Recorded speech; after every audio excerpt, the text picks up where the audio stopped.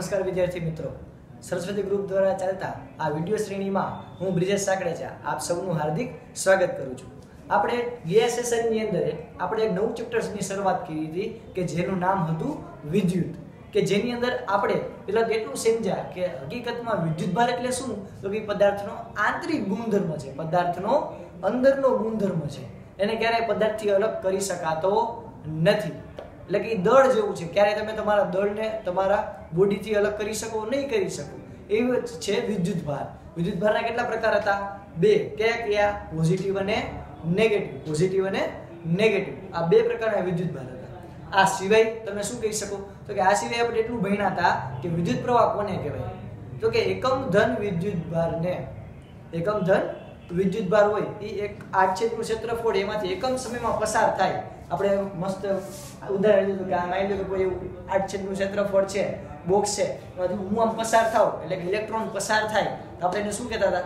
વિદ્યુત પ્રવાહ. એટલે કે એકમ આડછેદના ક્ષેત્રફળમાંથી એકમ સમયમાં વાહકમાંથી પસાર થતા વિદ્યુત ભારના ચોખ્ખા જથ્થાને શું કહેવાય? વિદ્યુત પ્રવાહ. એટલે કે આપણે ભણ્યા હતા કે I is equal to Q by T યાદ કરો બરાબર I is equal to Q by T યાદ કેમ રખાયું હતું તો કે QT યાદ કેમ રખાયું હતું? ટી. ઓકે, આના બરાબર બીજું સૂત્ર આપણે ભણ્યા હતા? N E by T. એટલે કે ની ટી. આપણે બે સૂત્ર ભણ્યા હતા. વિદ્યુત પ્રવાહના વિદ્યુત પ્રવાહના બે સૂત્ર કયા હતા? વિદ્યુત પ્રવાહના બે સૂત્ર. ફટાફટ. ક્યુ બાય ટી અથવા તો એન ઈ બાય ટી. યાદ કેમ રાખશી? તો કે ક્યુ ટી અથવા તો ની ટી. આપણે આવી રીતે યાદ રાખી શકીએ. આ સિવાય વિદ્યુત પ્રવાહ છે, એનો એસઆઈ એકમ હતો. એમ્પિયર ઓકે બીજા એના કયા એકમ હતા? તો કે નાના એકમ હતો મિલી એમ્પિયર અને માઇક્રો એમ્પિયર મિલી એમ્પિયર નો ઉપયોગ ક્યાં તો છેલ્લે આપણે ભણ્યા હતા. મિલી એમ્પિયર છે કોઈ પણ ઇલેક્ટ્રોનિક સર્કિટની અંદર કામ આવે છે. જ્યારે માઇક્રો એમ્પિયર છે એ આપણા મગજમાં વિદ્યુત સંદેશાઓ દ્રષ્ટિચેતા છે એ મગજને પહોંચાડે છે. તો એ કયું થયું? માઇક્રો એમ્પિયર ચાલો ફટાફટ, આટલું પહેલા ફટાફટ રિવિઝન કર્યા બાદ. હવે આપણે આગળ વધીએ આપણા નવા ટોપિક ઉપર. એટલે કે નવો પ્રશ્ન એક કુલમ વિદ્યુત ભારની રચના કરતા ઇલેક્ટ્રોનની સંખ્યા ગણો. એટલે કે એક કુલમ જેટલો તમારે વિદ્યુત ભાર જોતો હોય, એના માટે તમારે કેટલા ઇલેક્ટ્રોનની જરૂર પડશે? કારણ કે આપણને ખબર છે કે એક ઇલેક્ટ્રોન છે, એક ઇલેક્ટ્રોન, એનો વિદ્યુત ભારનું મૂલ્ય કેટલું, એનું Q નું મૂલ્ય કેટલું? માઇનસ એક પોઈન્ટ છ ગુણ્યા દસની માઇનસ ઓગણીસ ઘાત કુલમ. તો તમે વિચાર કરો કે દસની માઇનસ ઓગણીસ ઘાત કુલમ. તો બહુ ઓછા ક્રમનો થયો. Zero point zero zero zero zero zero zero zero ઓગણીસ ઘાત. અને એમાંય પાછું કેવું? નેગેટિવ તો હું એવા કેટલા ઇલેક્ટ્રોન લઉં કે જેથી મને આ વિદ્યુત ભાર કેટલો મળે? એક કુલમ મળે. વિદ્યુત ભારનું મૂલ્ય કેટલું મળે? એક કુલમ તો હું કેટલા ઇલેક્ટ્રોનને ભેગા કરું કે જેની મદદથી મને જે મળતો વિદ્યુત ભાર છે એ કેટલો થાય? એક કુલમ થાય. તો એના માટે આપણે શું કરશું? કે સિમ્પલ ત્રિરાશી મુક્ત તમને બધાને આવડે જ છે. માહિર છો એમાં. ચાલો આપણે જોઈએ. તો કે જો અહીંયા આપણે ત્રિરાશી કેમ મૂકશે? એટલે આપણને ખબર હોવી જોઈએ. જો સૌથી પહેલા. તો કે ત્રિરાશી મૂકવા માટે કે એક પોઈન્ટ છ ગુણ્યા દસની માઇનસ ઓગણીસ ઘાત કુલમ. જેટલો વિદ્યુત ભાર કેટલા ઇલેક્ટ્રોન ધરાવે છે? એક ઇલેક્ટ્રોન ધરાવે છે. તો આ એક કુલમ જેટલો વિદ્યુત ભાર તમારે જતો હોય, તેના માટે તમારે કેટલા ઇલેક્ટ્રોનની જરૂર પડશે? હજી એક વાર માઇનસ એક પોઈન્ટ છ ગુણ્યા દસની માઇનસ ઓગણીસ ઘાત કુલમ જેટલો વિદ્યુત ભાર એક ઇલેક્ટ્રોન ધરાવે છે. તો તમારે એક કુલમ જેટલો વિદ્યુત ભાર જોતો હોય તો તમારે કેટલા ઇલેક્ટ્રોનની જરૂર પડે? તો આપણે શું કરશે? તો કે રહેશે સિમ્પલ. તો કે ઇલેક્ટ્રોનની સંખ્યા n ઇઝ ઇક્વલ ટુ આ બેનો ગુણાકાર 1 ગુણ્યા 1 છેદમાં 1.6 ગુણ્યા 10 ની માઇનસ 19 ઘાત. આટલું ક્લિયર ચાલો. n ઇઝ ઇક્વલ ટુ આપણે માઇનસ નિશાની અત્યારે ધ્યાનમાં ન લઈએ. તો જો 1 ના છેદમાં 1 આ 10 ની માઇનસ 19 ઘાત છે. ઉપર જઈએ તો શું થાય? Plus 19.6 sorry plus 19 okay minus નિશાની ધ્યાનમાં લઈ લે. હાલો, તમને કદાચ એમ નથી સાહેબ આ હું કહ્યું તો જો, હવે વધ્યું શું? 1 ના છેદમાં 1.6 1 ના છેદમાં 1 પોઈન્ટ છે એટલે કેટલું થયું? જીરો પોઈન્ટ છસો પચીસ ગુણ્યા દસની ઓગણીસ ઘાત. તો આને હું હજી સારી રીતે લખું તો આમ લખી શકું કે એન બરાબર છ પોઈન્ટ પચીસ ગુણ્યા દસની અઢાર ઘાત. તો એનો મતલબ શું થયો? તો કે છ પોઈન્ટ પચીસ ગુણ્યા દસની અઢાર ઘાત. જેટલા ઇલેક્ટ્રોન ભેગા થશે, ત્યારે એનો વિદ્યુતભાર કેટલો થશે? એક કુલમ રિપીટ એક કુલમ જેટલો વિદ્યુતભાર તમારે મેળવ્યો તો તમારે કેટલા ઇલેક્ટ્રોનની જરૂર પડશે? એક, છ પોઈન્ટ પચીસ ગુણ્યા દસની અઢાર ઘાત જેટલા ઇલેક્ટ્રોન. તમે કલ્પના કરો કે તમારે ખાલી એક કુલમ જેટલો વિદ્યુતભાર જોતો તમારે કેટલા ઇલેક્ટ્રોનની જરૂર પડશે? કેટલા? છ પોઈન્ટ પચીસ ગુણ્યા દસની અઢાર ઘાત. આટલું ક્લિયર તો આના ઉપરથી આપણે સમજ્યા કે એક કુલમ જેટલા વિદ્યુતભારની રચના કરતા ઇલેક્ટ્રોનની સંખ્યા કેટલી જોશે? તો કે છ પોઈન્ટ પચીસ ગુણ્યા દસની અઢાર ઘાત આટલા ઇલેક્ટ્રોન તમારે જોશે. તમને પ્રશ્ન થાય, સાહેબ, અહીંયા નેગેટિવ હતી કે અહીંયા નેગેટિવ આવ્યું અહીંયા નેગેટિવ નેગેટિવ નો આવે. આવે, હું કઈ ના નથી પાડતો. પણ સંખ્યા કોઈ નેગેટિવમાં હોય? હું કોઈ એમ કહું કે અહીંયાથી માઇનસ બે માણસ હાલ્યા જાય છે. હું એમ કહું કે અહીંયાથી બે માણસ ચાલ્યા જાય છે. હું કોઈ દી એમ કહું, અહીંયાથી માઇનસ બે માણસ ચાલ્યા જાય છે. હું કોઈ દી એમ કહીશ કે આ માઇનસ સાત જેટલા માણસ છે ને એ મારા કામના જ નથી. તો કોઈથી પણ જે સંખ્યા હોય, જે પર્ટિક્યુલર હું ગણિતની વાત નથી કરતો, પણ જે ક્વોન્ટિટી જે જથ્થો હોય જથ્થો એ ક્યારેય નેગેટિવ હોય નહીં. તો એવી રીતે ઇલેક્ટ્રોનના જથ્થાની વાત છે. તો એ જથ્થો ક્યારેય નેગેટિવ હશે નહીં. એટલે આપણે કેટલું લખ્યું? છ પોઈન્ટ પચીસ ગુણ્યા દસમી અઢાર ઘાત. પ્રશ્ન આવડી જાય આખો. બે માર્કમાં તમને પૂછાય વિદ્યાર્થી મિત્રો. આપણને આટલું લખતા આવડવું જોઈએ. સિમ્પલ છે, કાંઈ ત્રી રાશિ મૂકવાની છે. ચાલો, હવે આપણે આગળ જોઈએ. નવો ટોપિક એટલે કે આપણું નવું સોપાન, જેનું નામ છે બાર પોઈન્ટ બે વિદ્યુત સ્થિતિમાન અને વિદ્યુત સ્થિતિમાનનો તફાવત. તો સૌથી પહેલાં વિદ્યુત સ્થિતિમાન શું છે? તો કે શક્તિમાનનો ભાઈ છે, તાપમાનનો સાળો છે. ના, એવું કાંઈ નથી. તો કે વિદ્યુત સ્થિતિમાન એટલે શું? તો કે વિદ્યુત સ્થિતિમાન એટલે એને કહેવાય વોલ્ટેજ શું કહેવાય? વોલ્ટેજ તો વોલ્ટેજ એટલે શું? આપણે સમજીએ. તો કે પહેલા તો તમને એક સિમ્પલ ઉદાહરણ દ્વારા સમજો. જો, આ પાણીની ટાંકી ભરેલી છે. તમને બધાને દેખાય પાણીની ટાંકી આખી ભરેલી. જો આખું પાણી અંદર ભરેલું છે, પાણીની ટાંકી ભરેલી છે. અને મારી પાસે જે બીજી ટાંકી છે, આને હું આને હું નામ આપું ટાંકી એક. આને નામ આપું ટાંકી બે. તો એક ટાંકી આખી ભરેલી છે અને બીજી ટાંકી સાવ ખાલી છે. હવે મારે અહીંયાથી અહીંયા પાણી ટ્રાન્સફર કરવું હોય તો હું શું કરીશ? હું અહીંયા પાઇપ જોડીશ. તો પાણી પસાર થશે. તમે કહેશો, સાહેબ, હું મજાક કરો? કોઈ દી પસાર થાય નહીં. તો હું શું કરીશ? તો કે હું અહીંયા પા- અહીંયા પાઇપ નહીં જોડું. પાઇપ ક્યાં જોડીશ? અહીંયા.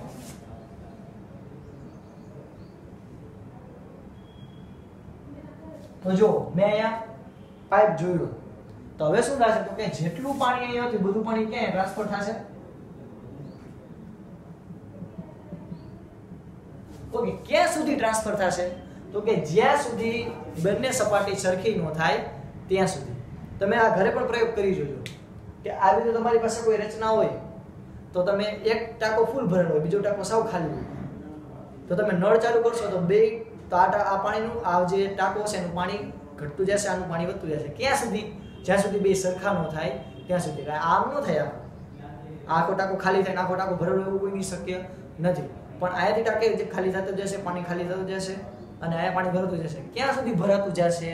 તો કે ત્યાં સુધી, જ્યાં સુધી બંનેની સપાટી સરખી ન થાય ત્યાં. તો અહીંયા ક્યાં સુધી પાણી ભરાશે તો કે જ્યાં સુધી બંનેની સપાટી સરખી ન થાય ત્યાં સુધી. જેવી બંનેની સપાટી એકદમ સરખી થઈ ગઈ, એટલે પાણી છે એ વહન પામવાનું, એટલે કે પાણી ટ્રાન્સફર થવાનું બંધ થઈ જશે. તો સેમ આ જ પ્રોસેસ થાય છે આપણી બેટરીની અંદર. બેટરી હોય બેટરી બેટરીની અંદર અહીંયા આપણે ચર્ચા કરીએ આપણે તમને આ મિકેનિકલ ઉદાહરણ આપ્યું હતું. હવે હું તમને ઉદાહરણ આપું પ્રેક્ટિકલી વિદ્યુતનું. તો આપણને ખબર હશે કે બેટરીની અંદર બે ધ્રુવ છે પોઝિટિવ અને નેગેટિવ તો આને હું કહું પોઝિટિવ આને હું કહું નેગેટિવ તો આનો મતલબ શું થયો તો કે પોઝિટિવની અંદર પાણી ભરેલું હશે? ના. તો કે જે આપણી બેટરી છે બેટરી સિમ્પલ એક પોઝિટિવ છે, એક નેગેટિવ છે. તો આ જે બેટરી છે એનો પોઝિટિવ છેડાની અંદર ઠસી ઠસીને, ઠૂસી ઠૂસીને એકદમ ગળદીથી ઇલેક્ટ્રોન ભરી દીધા છે. ફોર એક્ઝામ્પલ માની લો કે કોઈ ક્લાસ છે. ક્લાસમાં વિદ્યાર્થી સંભાળવાની સંખ્યા છે પચાસ. એટલે કે હું કોઈ ક્લાસની અંદર પચાસ વિદ્યાર્થીને સંભાળી શકું, એના કરતાં વધારે વિદ્યાર્થીને સંભાળી શકતો નથી. હવે તમે વિચાર કરો કે જો હું એમાં દોઢસો વિદ્યાર્થીને ભરું તો? તો કેવું થશે? તો કે સ્થિતિ એવી થશે કે વિદ્યાર્થીઓ બેન્ચમાં નહીં બેઠા હોય. આમ છત ઉપર ને બધે ચોટેલા હશે આમ એકદમ ગીરદો ગીરદી આખો ક્લાસ ભરાઈ ગયો છે, ઘેટા બકરા રહ્યો હોય. તો અહીંયા એકદમ ખીચોખીચ ક્લાસ ભરેલો છે. બધા વિદ્યાર્થીઓ બહાર જવા માટે બતાવે છે કે મારે બહાર નીકળે તો સારું. હવે જેવું હું બહેનનું ખોલીશ એ ક્લાસમાં તરત વિદ્યાર્થીઓ ક્યાં આવશે? બહાર. ઓકે. હવે તો કે નિયમ એક આખો આમ રસ્તો રાખેલો હોય અને મેં સામેનો ક્લાસ હોય, એ આખો ખાલી રાખ્યો હોય. જેવું બેનું ખોલું એટલે બધા વિદ્યાર્થીઓ અડધા ક્યાં જશે? સામેના ક્લાસમાં ક્યાં સુધી? જ્યાં સુધી બે બાજુ સરખી સંખ્યા થાય નહીં, ત્યાં સુધી. બસ એવી જ વાત છે બેટરીની અંદર, જે આપણે પાણીમાં પણ હમણાં અગાઉ જોયું, કે બેટરીની અંદર એકદમ ઇલેક્ટ્રોન બધા ભરેલા છે. આ બધા ઇલેક્ટ્રોન છે. એટલા એકદમ ભરેલા છે. આ ઇલેક્ટ્રોન એકદમ નહીવત જેવા છે. જેવા આપણે બેની વચ્ચે તાર જોશે બેની વચ્ચે આપણે તાર. તાર એટલે કે આપણે જે કોપરનો તાર હોય જોડશે એટલે બધા ઇલેક્ટ્રોન અહીં ટ્રાન્સફર થવાનું શરૂ થશે અને અહીંયા અહીંયા આવશે. ક્યાં સુધી? જ્યાં સુધી બંને એકદમ સરખા ન થાય, ત્યાં સુધી. એટલે તમે જોજો તમે કોઈ નવો સેલ લેશો ને કોઈ નવો સેલ પેન્સિલ સેલ રિમોટમાં એમાં આપણે ભરાવેલો હોય. તો એ જે પેન્સિલ સેલ હોય તમે સર્વ છો, તમને પૂરા વોલ્ટ મસ્ત કામ કરતો હોય છે. તમે જેવું અમુક મહિના પછી તમે એનું પરફોર્મન્સ જોશો ને તો ધીરે ધીરે ઘટતું જશે અને બે ચાર મહિના પછી સેલ છે એ ખાલી થઈ જશે. આપણે ખાવ કાઠિયાવાડી ભાષામાં કહીએ તો ખાલી થઈ જશે સેલ તો એનો મતલબ શું થયો? તો કે એની અંદર જે પોઝિટિવમાં જેટલા ઇલેક્ટ્રોન હતા, એટલા જ ઇલેક્ટ્રોન ક્યાં આવી ગયા? નેગેટિવ એટલે વિદ્યુત પ્રવાહનું વહન થતું નથી. તો અહીંયા આપણે કેટલું સમજ્યા? તો કે એક તો વિદ્યુત સ્થિતિમાન એટલે શું? તો કે પર્ટિક્યુલર ક્યાંય કોઈ જગ્યાએ ઇલેક્ટ્રોન એકદમ ભૈરા હોય તેને શું કહે છે? વોલ્ટેજ વિદ્યુત સ્થિતિમાન. ઓકે હવે તો કે એક જગ્યાએ ખૂબ જ વધારે ઇલેક્ટ્રોન ભરેલા છે. એક જગ્યાએ કાંઈ ઇલેક્ટ્રોન ભરેલા નથી. તો એ બેનો કનેક્ટ કરું, તો વિદ્યુત પ્રવાહ કઈ બાજુ જશે? વધુથી ઓછા તરફ. એટલે આપણને શું મળશે? વિદ્યુત સ્થિતિમાનનો તફાવત. પેલા આટલું ક્લિયર થયું? ઓકે વિદ્યુત સ્થિતિમાન એટલે શું? તો કે એક પ્રકારનું લેવલ જેમ કે માની લો કે અહીંયા કોઈ દિવાલ હોય, મને એમ કે ભાઈ આ તમારે દિવાલ ચડવાની છે. તો જો આવડી દિવાલ છે તો હું ફટાફટ આવી રીતે આમ કૂદી જઈશ. હવે માની લો કે મને આવડી મોટી દિવાલ આપી, તો થોડુંક મને હાર્ડ પડશે ચડવામાં માની લો કે બહુ ઊંચી દિવાલ આપી. બહુ ઊંચી દિવાલ. તો હું એ ફટાફટ ચડી શકીશ નહીં. આઈ એમ નોટ સ્પાઈડરમેન તો હું ફટાફટ આમ ચડી જાઉં તો એવી રીતે ચડી શકીશ નહીં. તો એવી જ રીતે વિદ્યુત સ્થિતિમાં એટલે કે વોલ્ટેજ એટલે શું? તો કે એક પ્રકારનું લેવલ એક પ્રકારનો મોટી દિવાલ કે જેને ઇલેક્ટ્રોન સરળતાથી પાર કરી શકતા નથી. ઓકે વિદ્યુત સ્થિતિમાનનો તફાવત એટલે શું? તો કે એક બાજુ વધારે ઇલેક્ટ્રોન છે, એક બાજુ ઓછા ઇલેક્ટ્રોન છે. જેને તમે શું કહી શકો? વિદ્યુત સ્થિતિમાનનો તફાવત. એટલે એક ઉદાહરણ આપું, જો મસ્તી માની લો કે અહીંયા કોઈ લપસ્યું છે? લપસ્યું દેખાય લપસ્યું આપણે ગુળ કરતા? લપસ્યા ખાતા નાના હતા ત્યારે. તો આવું લપસ્યું છે? તો તમે જો આ લપસ્યામાં તમે સીડીએથી ઉપર ચડશો. તો ઉપર ચડો એટલે આ બિંદુ ક્યાં છે? જમીનથી. જમીનથી આ બિંદુ ક્યાં છે? ઉપર છે. આ બિંદુ જમીનથી ક્યાં છે? નીચે.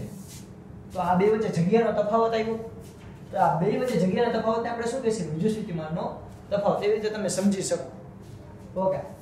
અહીંયા પણ જો અલગ ઊર્જા છે અહીંયા પણ અલગ ગુરુત્વાકર્ષણ બળ લાગતું હોય છે અહીંયા પણ અલગ ગુરુત્વાકર્ષણ બળ લાગતું છે, તો એ શું તો પર્ટિક્યુલર વોલ્ટેજ તો અહીંયા આપણે કહી શકીએ કે વિદ્યુત સ્થિતિમાન અને વિદ્યુત સ્થિતિમાન અને વિદ્યુત સ્થિતિમાન અને વિદ્યુત સ્થિતિમાનનો તફાવત. તમે કેવી રીતે ટ્રાય કરી શકો છો? તો પહેલા તો જો, હવે સિમ્પલ અહીંયા હવે આપણે જો ટ્રાય કરીએ. હજી સારી રીતે સમજવાની. તો જો માની લો કોઈ ઇલેક્ટ્રોન છે, કોઈ ડાગલો છે. હવે ડાગલાને લપસ્યું એવું તો શું કરશે? કે સીડી દ્વારા અહીંયા ચડશે, અહીંયા આવશે, અહીંયાથી લપસ્યું ખાશે. ફરી પાછું અહીંયાથી અહીંયા આવશે. ફરી પાછું લપસ્યું ખાશે. આ પ્રોસેસ કેવી રહેશે?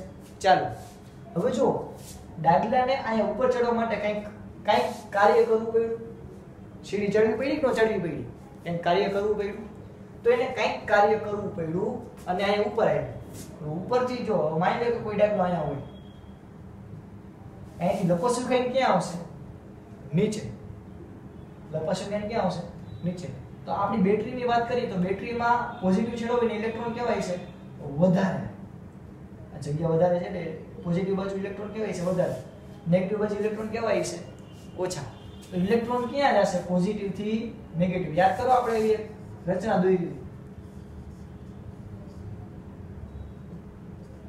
ઇલેક્ટ્રોન ક્યાં આવશે? પોઝિટિવથી નેગેટિવ આપણે એવું કીધું હતું રેવાચિક વિદ્યુત પ્રવાહની અંદર?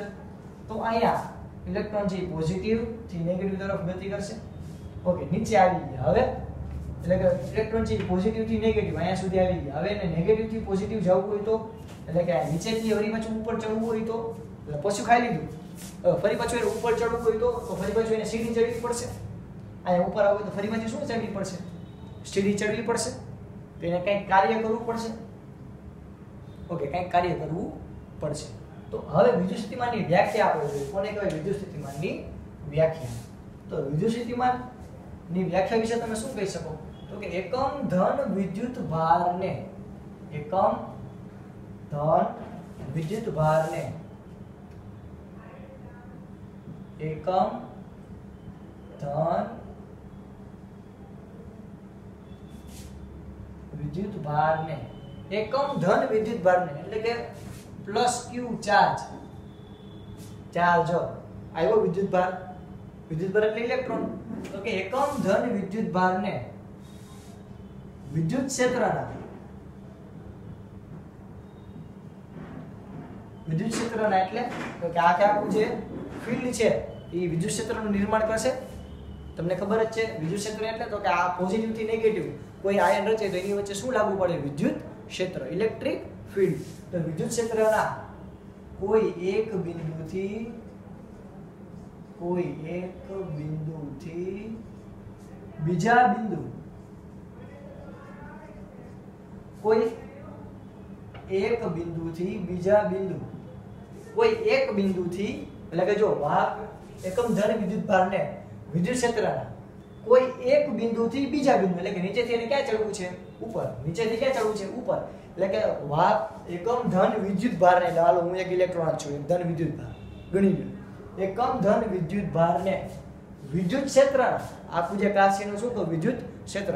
તો વિદ્યુત ક્ષેત્રના કોઈ એક બિંદુથી બીજા બિંદુ સુધી, કોઈ એક બિંદુથી બીજા બિંદુ સુધી દિવાલ ખબર કેવડી મોટી? તો એક બિંદુથી બીજા બિંદુ સુધી જવા માટે જવા માટે. વિદ્યુત ક્ષેત્ર વિરુદ્ધ.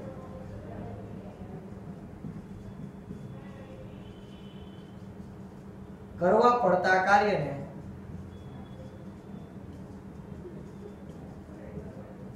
વિદ્યુત સ્થિતિમાનનો તફાવત કહે છે.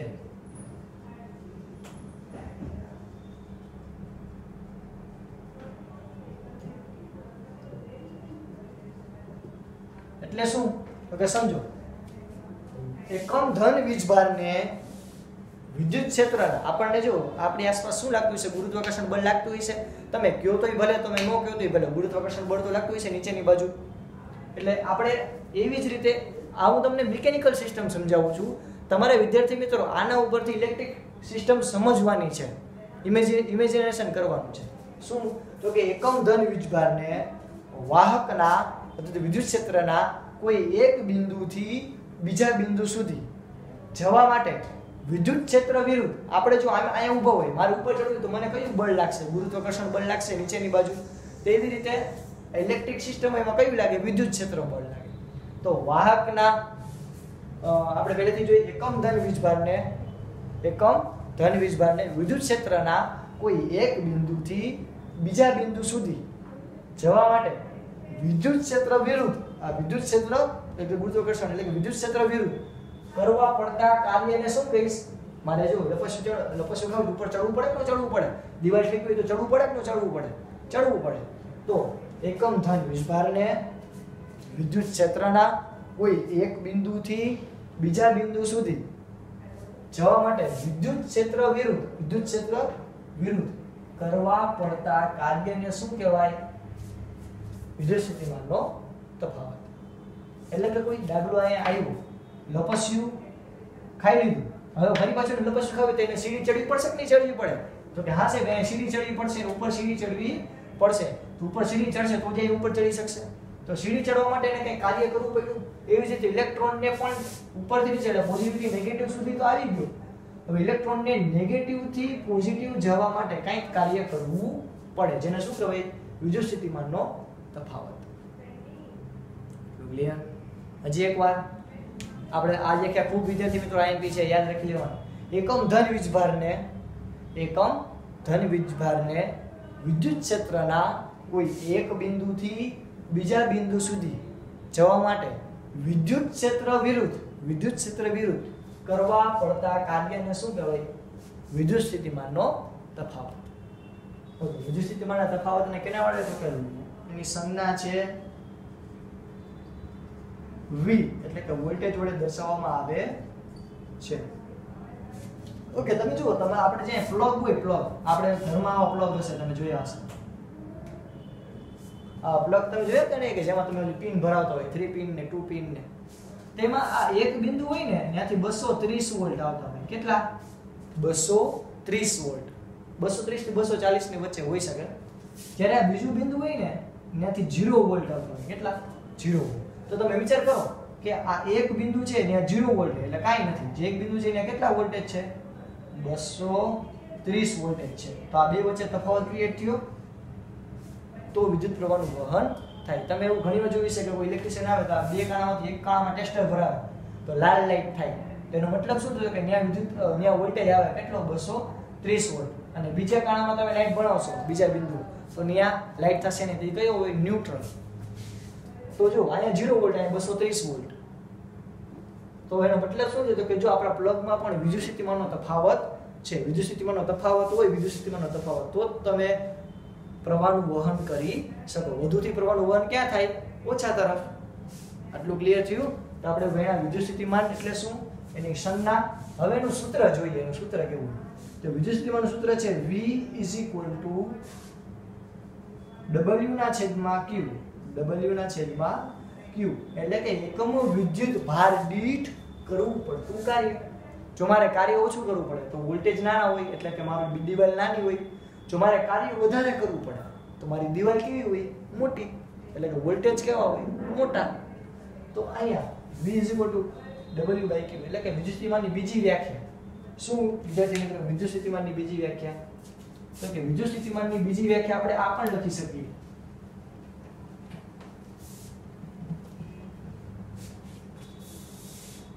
બીજી વ્યાખ્યા. પહેલી વ્યાખ્યા આપણે થઈ ગઈ બીજી વ્યાખ્યા. શું? તો કે એકમ વિદ્યુત ભાર દીઠ એકમ વિદ્યુત ભાર દીઠ કરવા પડતા કાર્યને એકમ વિદ્યુત ભાર દીઠ કરવા પડતા કાર્યને વિદ્યુત સ્થિતિમાનનો તફાવત કહે છે.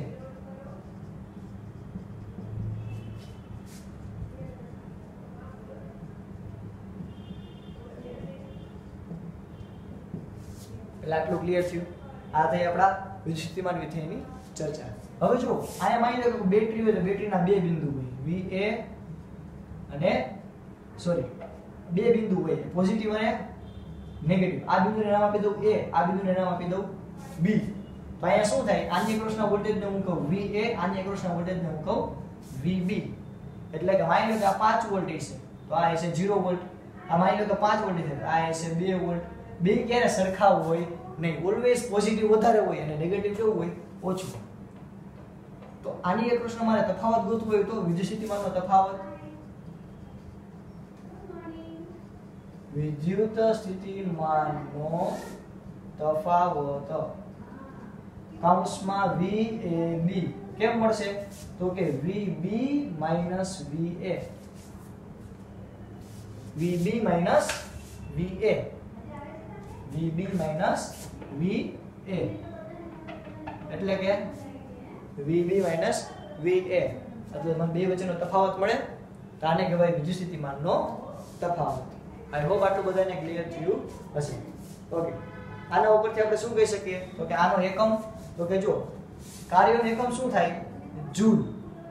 ઓકે ક્યુનો એકમ કુલમ ભાઈઓ આપણે કહી શકીએ કે વોલ્ટેજનો એકમ. શું થશે? તો કે જૂલ પ્રતિ કુલમ અથવા વોલ્ટેજ. વોલ્ટેજ તમને વૈજ્ઞાનિક આની માહિતી આપી હોવાથી. એના માનમાં વોલ્ટેજ, કૌંસમાં V. આ એનો એકમ છે. આટલું ક્લિયર છે બધાને વિદ્યાર્થી મિત્રો? ચાલો ફટાફટ બે મિનિટનો ટાઈમ આપું છું. ફટાફટ બધા જોઈ લો અને તમારી બુકમાં નોંધી લો.